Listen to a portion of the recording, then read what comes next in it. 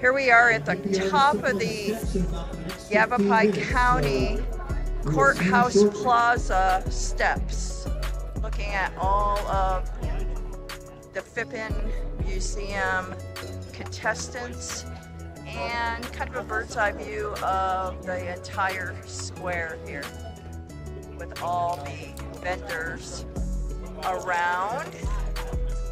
Such a beautiful day out today.